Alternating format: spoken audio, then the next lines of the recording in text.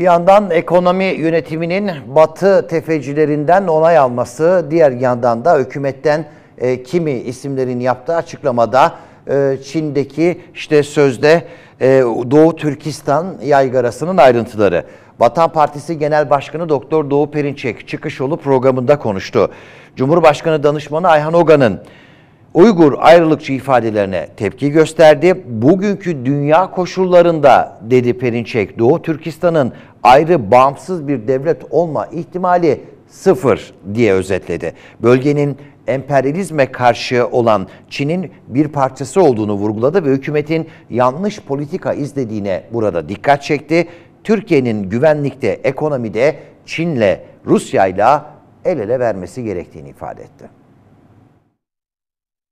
Amerika Bugünkü gelirse. dünya koşullarında e, Doğu Türkistan'ın ayrı bağımsız bir devlet olması ihtimali sıfır. Vatan Partisi Genel Başkanı Doğu Perinçek çıkış yolu programında gündemi değerlendirdi. Sincan özel bölgesine yönelik yalan propagandasına yanıt verdi. Çin'in bir parçası ve Çin'in içinde de bir özel devlet o bölge değil mi? Yani Sincan Kendi bölgesi bağımsız, Çin'in evet. özel yani orada bir devlet. Orası bağımsız olsaydı şimdi keçi otlata, otlatmaya devam eden bir ülke olurdu Afganistan gibi. Bakın Afganistan'dan ayıran Sincan bölgesini nedir? Çin Halk Cumhuriyeti gibi büyük sosyalizmi inşa etme yolunda kararlı emperyalizme karşı büyük bir bağımsız devletin bir parçası olması ve orada bazı ayrıcalıklara sahip olması. Son olarak Cumhurbaşkanı danışmanı Ayhan Oga'nın kullandığı Doğu Türkistan Çin'in bir parçası olmadı ifadelerine de tepki gösterdi. Hükümetin izlediği yanlış politikalara dikkat çekti. Suriye'deki politikası yanlış, Ukrayna'daki politikası yanlış. Bu politikası aynı zamanda Türkiye'nin önünü karartan bir politika. Yani Türkiye güvenlikte olsun, ekonomik kalkınmada olsun, Çin ile ve Rusya ile el ele vermeye mecbur. Bakın el ele vermelidir demiyorum. El ele vermeye mecbur. Mecbur olduğu için zaten görüyoruz. Bugün e, Türkiye'nin birinci, ikinci ticaret ortakları kim? Rusya ile Çin. Perinçek, Doğu Türkistan İslam Partisi'nin PKK ile bağını da hatırlattı. Yalnız Sayın Ayhan Ogan'a değil, e, bütün hükümete ve Sayın Cumhurbaşkanımız Tayyip Erdoğan'a Doğu Türkistan İslam Partisi PKK ile hep beraber yani çeşitli toplantılar yapıyorlar, açıklamalar yapıyorlar. CIA tarafından her ikisi destekleniyor, her ikisi örgütleniyor ve Doğu Türkistan İslam Partisi Ayhan Ogan'ın e, arkasında durduğu o örgütlenme bizim Mehmetçiğimize kurşun sıkan Fırat Kalkanı Harekatı'nda örgüt.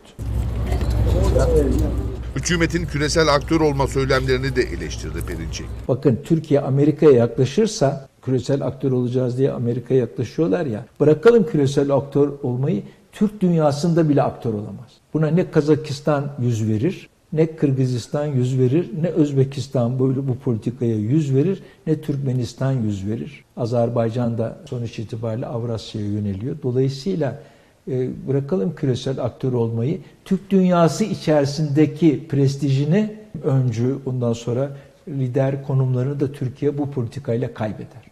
Perinçek başta Artvinliler olmak üzere vatandaşların tepkisini toplayan Fox TV'nin Hudutsuz Sevda dizisiyle ilgili de konuştu.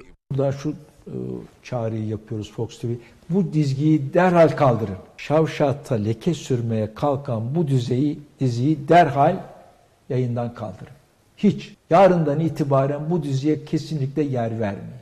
Bu dizi Türkiye'yi hedef alan bir dizidir. Merhaba arkadaşlar ben Halil Nebiler. Ulusal YouTube kanalına göz attığınız için peşin peşin teşekkür ederim. Eğer daha fazla video, program özeti, ne bileyim canlı yayın falan izlemek isterseniz sağ taraftaki abone ol butonuna tıklayabilirsiniz. Butonlar da aşağıda mı yukarıda mı aşağıda galiba değil mi? Heh, oraya tıklayabilirsiniz. Son dakika haberleri için ulusal uygulamasını indirmeyi unutmayın. Şimdiden izlediğiniz için teşekkür ederim.